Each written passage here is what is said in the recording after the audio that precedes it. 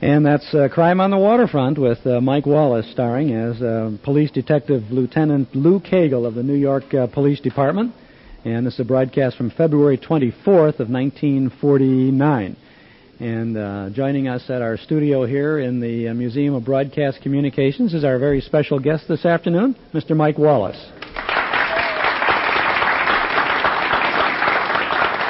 Thank you, Chuck.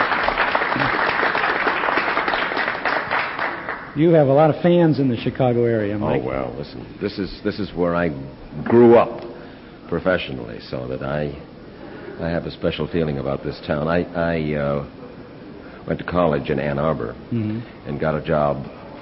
Luckily, I I couldn't get a couple of jobs for which I had auditioned, and I got a job at WOOD in Grand Rapids back in 1939, and then came to Detroit to WXYZ, and finally here to Chicago in 1941.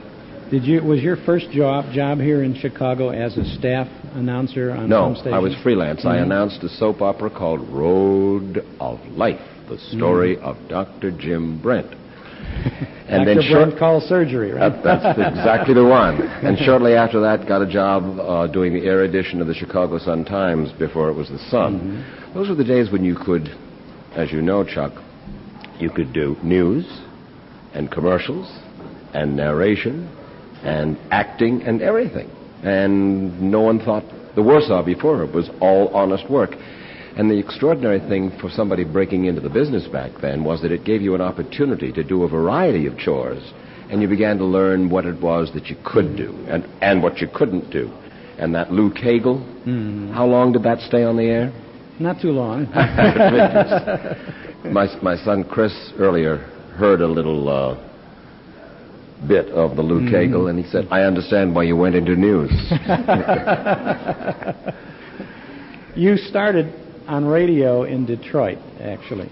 In Grand Rapids. Grand Rapids, and you you moved to Detroit, Right. And did some work with uh, the Lone Ranger and the Green Hornet. well, I uh, I filled in as the narrator on the Lone Ranger Mhm, occasionally, and but announced the Green or narrated the Green Hornet, Ned Jordan's Secret Agent, Challenge of the Yukon, and along with Douglas Edwards, I was one of the Cunningham News Aces.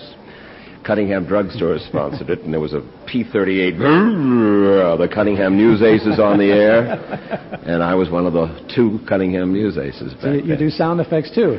Whatever, whatever paid the bills. Was it a good time for you? Oh yeah, Mm-hmm. yeah. I mean, come on, you were breaking into Mm-hmm. the the way you wanted to make your living and learning. And I remember you mentioned the Lone Ranger. We were talking about it earlier. There was a stock company of actors in Detroit, of all places. Mm-hmm. Stock company of actors who were in all of those radio shows. And if you got a ranger, you really were getting rich because this was before the days of tape or wire recording or even wax recording. So we would have to do three live shows. We played the Ranger at 6:30 to the East Coast, 7:30 here in the Middle West, and 10:30 on the West Coast. And you did each of the three things live. And I think that Af- AFRA, the American Federation of Radio Artists, by that time had gotten our fee up to 38 bucks for those three shows, three and that was bonanza. No, it was the Lone Ranger, but I set you up. I'm sorry about that. How did you get from Detroit to Chicago? Um, a friend of mine who had been a sound man and then a director at WXYZ Radio, Ted Robertson, came here to direct soap operas. And he said, Irna Phillips, who was the woman who, the Guiding Light and Road of Life and so forth, uh, needed an announcer for one of her soap operas, Road of Life. And P&G was the sponsor for Chipso, C-H-I-P-S-O, the Chipso elephant and the Chipso lamb or something, to, to show how tough and how easy Chipso was as a soap. In any case, she had veto power over the announcer on the soap opera. And what she wanted was somebody who could narrate her soap opera, the heck with the commercials. And so she she chose me, and and they uh, P&G hired me. Can I ask what you were paid? $155 a week because we were, were so funny. I remember all this so well. Well, of course, you know, I'm, I'm money oriented. uh, uh, It was, I think, 112 if it were only um, one show. But we played at 10 o'clock in the morning from 10 to 10.15 on NBC, just Mm-hmm. before Vic and Sade. And then we came over to WBBM, to CBS for the repeat. And so for the two, you got 155 bucks a week. You, were you recording one in between there any place? Sometimes they recorded a show to play where there were no network broadcasts. No, not at that You time. No, that's do it. all I was mm-hmm. doing. Mhm. That's all I was doing. It, I really used a lot of shoe leather in this town mm-hmm. because that show was canceled after the first year, and I was out of a job, and I mean really out of a job, and I had a son on the way, mm-hmm. and I didn't have five bucks coming in. So I, I remember so pounding from advertising agency to advertising agency, auditioning, you know, trying to find a job. And eventually, as everyone does, you catch on. And so by the time I left for the Navy in late 43, early 44, I was doing reasonably well. At that time, I was also doing the air edition of the Chicago Sun-Times on, uh, actually on a radio station called WJWC, who was, which was, uh, the call letters were that for a man by the name of John W. Clark, who was a friend of Marshall Field, who owned the Chicago Sun, and you could hear the, the station as far north as South Chicago occasionally. the, the, the transmitter was in Hammond or Gary. And then after the war came back to WMAQ. By that time it was the, the Sun Times, and I got my job back on the late news on Q.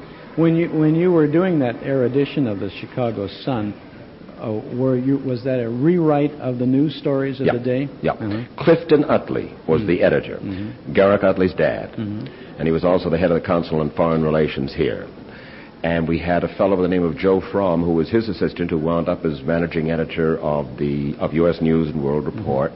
Bill Costello, who later became a CBS News correspondent. We had a first-rate staff at the Chicago Sun, and we used to broadcast from the top floor of the Daily News building, right down close by here. That's that I think was the original home of WMAQ, Was it? uh, or MAQ was in the Drake Hotel. That's right. I, that I didn't know. MAQ was in the merchandise mart. By the time you got there, Yeah. right? Yeah. You know they're leaving the merchandise mart. I now. hear. NBC Chicago is moving to Big, brand new building. New, I know. Yeah. Uh, Chris pointed it out today. Mhm, I had had no idea it was such a beautiful new building. But there's an awful lot of history in that uh, fantastic merchandise mart. Oh, I should say so. And I think you made a lot of history over there, didn't you? Well, we all, had, yeah. I, mean, Yeah. I don't know about making a lot of history. We all had a lot of fun Mhm. because there were. This was the center, really, of soap operas in America back then, Mm-hmm. and and there was a tremendous amount of work to be had. Then, in addition, there were things like uh, um, First Nighter and Curtain Mm-hmm. Time and Don McNeill's Breakfast Club and a variety of radio shows, the Knickerbocker Playhouse, things of that nature. And uh, again, it was it was then came Dave Garroway and Studs Terkel, and then Kukla Fran and Ollie. All of that came out of the merchandise mart. Well, you were tossing the ball out today at Wrigley Field, and I guess that was a pretty exciting experience. A real kick, Isn't yeah. that wonderful to be out there? I should say so. What were the Cubs doing when you uh, left? When we left to come here, they were uh, at 2 2, and I understand. What is the score now? Anybody know? Still 2 2? Still 2-2. Good. So we haven't missed anything. Uh-uh. anyway, while you were while you were at Wrigley Field earlier, we were playing a curtain time broadcast uh, where you were doing commercials for Mars Incorporated, Right. and uh, that was a show that, as a youngster, and I'm sorry to say this, but as a youngster, I would go to see once in a while. I, I I- announced it as a youngster. That's right. That's right. but I remember that you and all of the other people who appeared on on that show were dressed for the occasion. You had dinner jackets or tuxedos, and the Correct. women had gowns Right. and the whole thing. Radio or not. That's right. There was a catering to the studio audience as well as the listening audience. Well, the studio audience for the Breakfast Club was Mhm. fascinating. I mean, we, we- early in the morning, and they never failed to jam it with Mhm, people. mhm.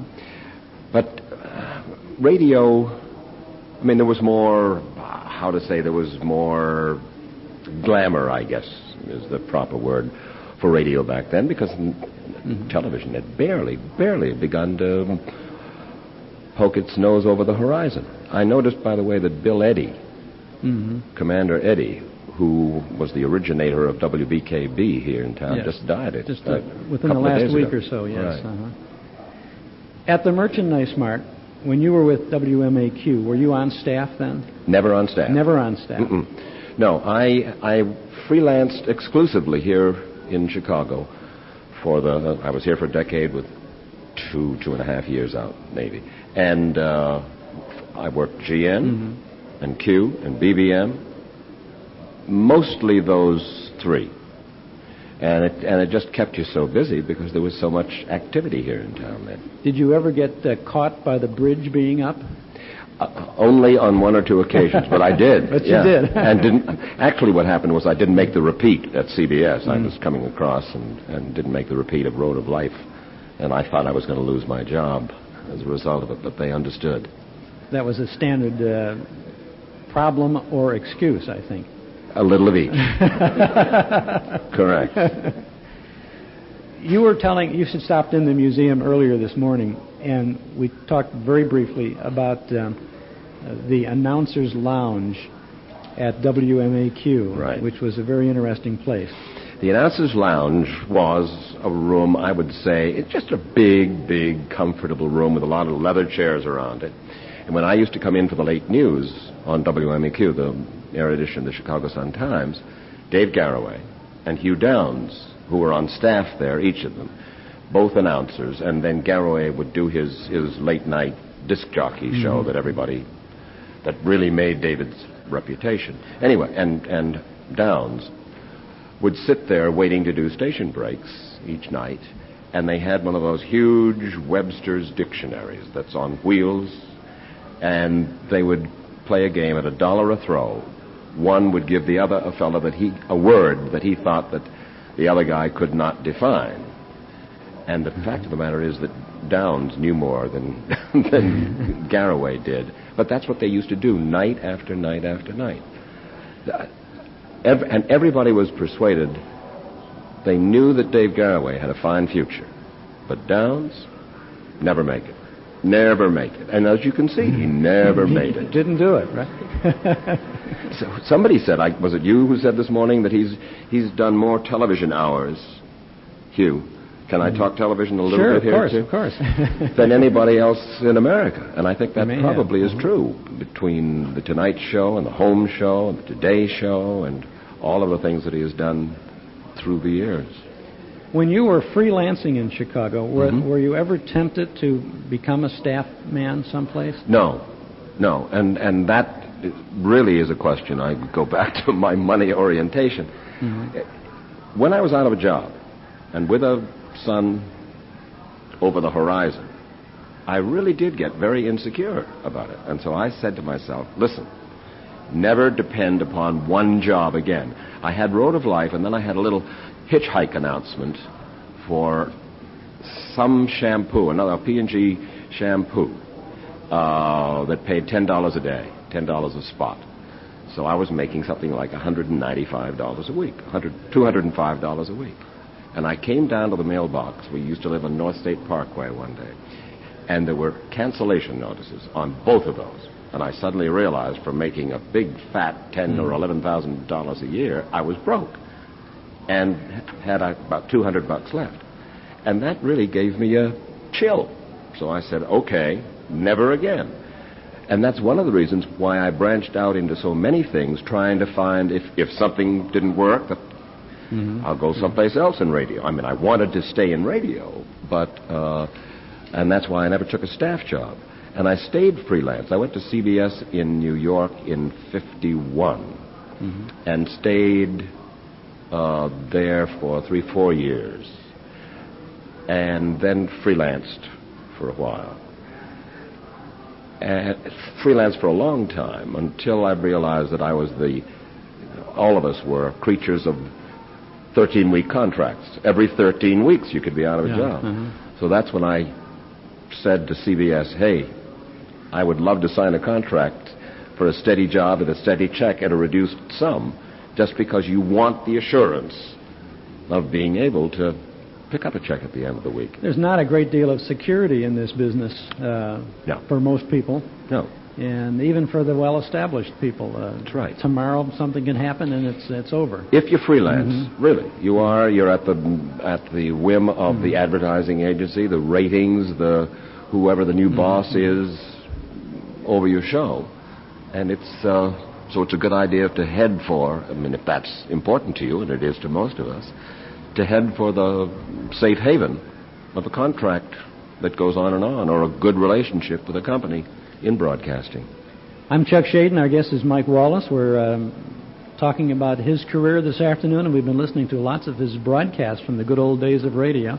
On those were the days from 97 FM. This is WNIB Chicago, WNIZ in Zion. Mike, while you weren't here before, we've been playing all kinds of your dirty laundry on the air today. Oh my! Uh, we played an excerpt from a program that uh, you and Buff Cobb conducted at the Chez Paree. mm-hmm. It was called the Chez Show. Right. Now, how did that come about for you? WMAQ. It was on from 11:30 until 1 o'clock in the morning. I'm trying to think how it came about. Um, probably somebody offered me a job. that, that is how it came about. But Buff and I were married at that mm-hmm. time, and she had never done any radio. She had never done any television. Didn't virtually exist at that time, but she'd never done any radio. And they talked about the possibility. There was Tex and Jinx in New York, and mm-hmm. Peter Lind Hayes and Mary Healy, his wife, and Dorothy and Dick, Dorothy Kilgallen, and and so they thought, why not develop a husband and wife team here in Chicago? And so Q, WMAQ, asked us if we wanted to do it. I said, well, look, if you don't mind hiring a, a, an, an apprentice, because Buff was. And she was a little bit nervous about it. So we used to drive around Chicago, and I'd say, okay, I am Betty Grable. Ask me ten questions. or I am, I mean it, seriously, I did. And she would say, da, da, da. And I'd hit her once or twice. And, and that's really, no, we, and we trained, and what happened was that, you know, you develop a kind of style. And, and our style was to argue on the air. We bickered. You remember the Bickersons? Mm-hmm. Yes. Who was it? It was Don Ameche and Frances Langford. and Frances Mm-hmm. Langford on radio.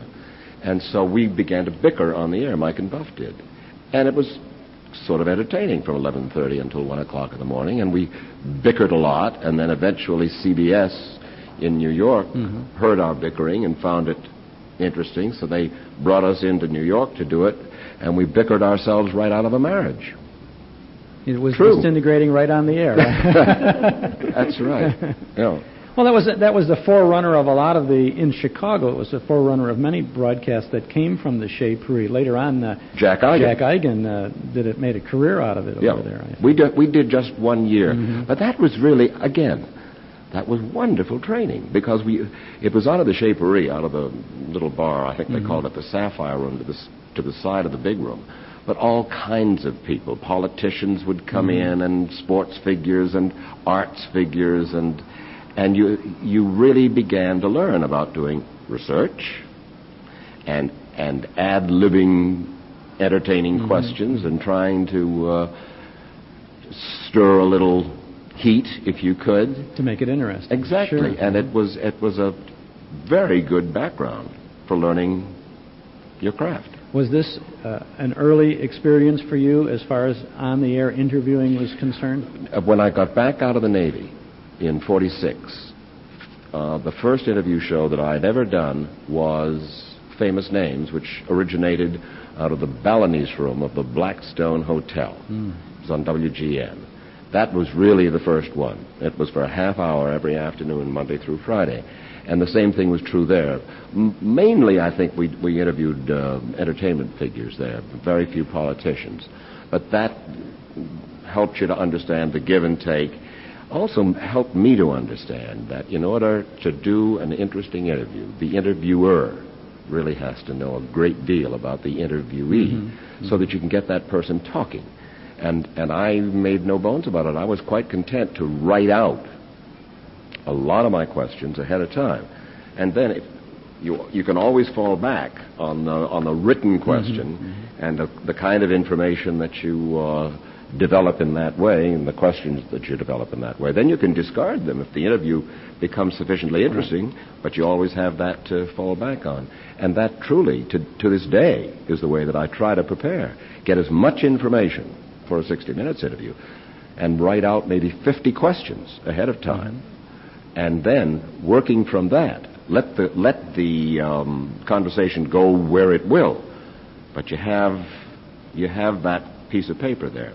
And what I do is, let's say that you're interviewing a politician. And then I'll do five questions.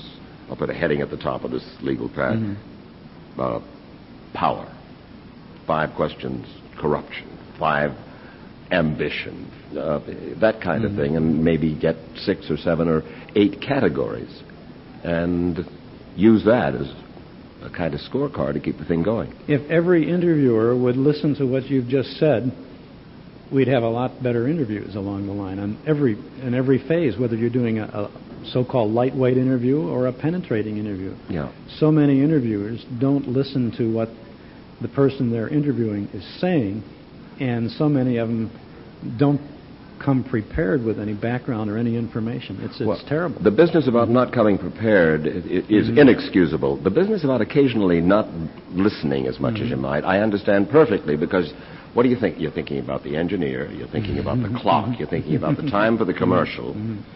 You're, you know, and you're, and and you've really got to plant your feet and look your interviewee in the eye and say, okay, it's you and me, and there's nobody else here. Right, right. It was it was fun, uh, really. Back in uh, in New York, I used to do a program called Night Beat, television uh, program, and it was one of the first of the almost occasionally self-consciously abrasive, warts and all, close-ups and so forth.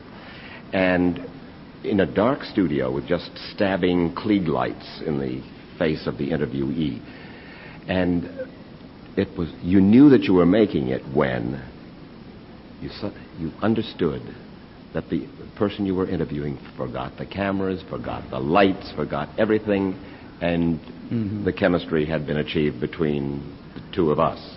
And that's it's a wonderful feeling. You've done a, and you don't need me to tell you this, but you've certainly done a marvelous job with the, your career. And uh, we here on our broadcasts and the people who listen to this show remember the early days, the Chicago days especially. And when they see you on 60 Minutes or in some other venue where you're performing or doing your thing, they remember the roots that you have in the Chicago area, and we That's thank nice, you for Chuck. that. You've done a, a you, you've done the profession very proud. And, Well. uh, you're to be congratulated on the event tonight, the the uh, salute by this museum for your career and work. Well, this is the first time that I have been in this museum. I went over this morning with Bruce Dumont and took a look at some of the computers and what you can call up in the way of your 45,000 radio. Is that true? 48. Sorry. thousand radio shows and all the television. Yeah, and it's yeah. uh, we have a we have also we have a museum in um, New York. Mm-hmm. I understand they're putting one together down in Atlanta, and it's about time that we all got together and began to to to save and savor and and use what has taken place in radio and in television. Uh, you, for, you use it for entertainment. You use it to understand where you came from. There's so much research that can be done, and so It- much entertainment can be had. and it's it would be a shame to lose any of it. Correct. Uh, with with these radio shows, as an example, if they were good back in 1947, they may still be good today. So why shouldn't someone be able to hear them if they'd like to hear them? That's why this museum is here.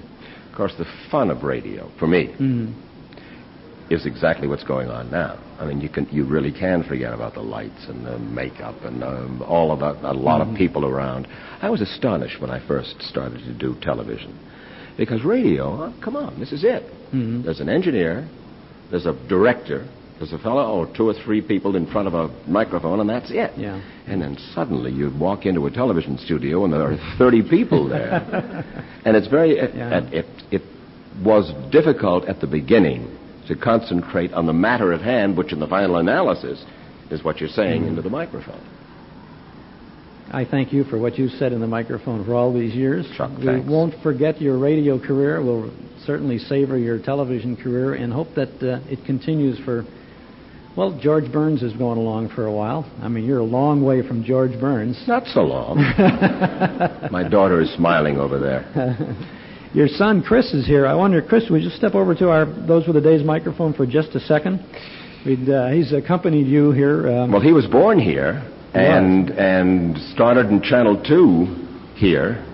That is, he started out. He was a print reporter at the Globe after college in Boston, and then uh, went to came here to Channel Two. He used to work for CBS before mm-hmm. he went wrong. and you've gone to the network of the Chimes now.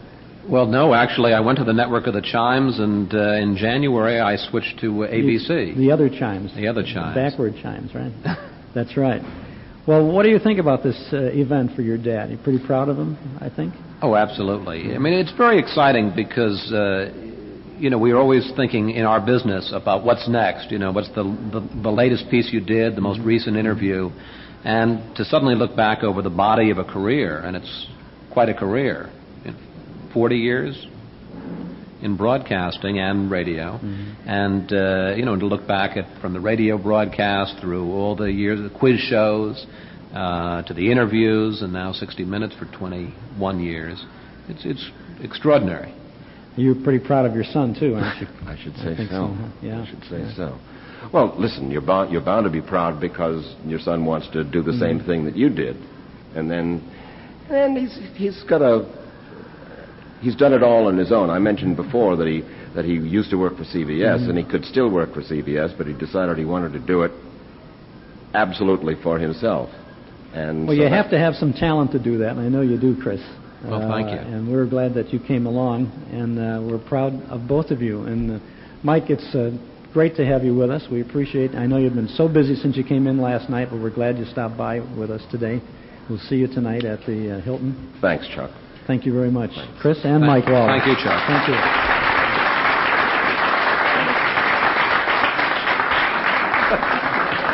a Mars bar. I just gave Mike Wallace a Mars bar in honor of the old curtain time days. Chuck Schaden on Those Were the Days from 97 FM. Are you ready now for Sky King? Let's go back to July 23rd of 1947 for Sky King.